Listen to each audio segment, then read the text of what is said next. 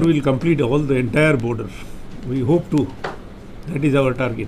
No direct uh, link, but we keep on keeping our vigil, extra vigil on the borders because uh, any kind of movement cross border, infiltration or exfiltration, affects the um, uh, uh, BSF operations. Accordingly, we keep a tab on that and we keep on uh, extending or enhancing our vigil on the border in any such scenario.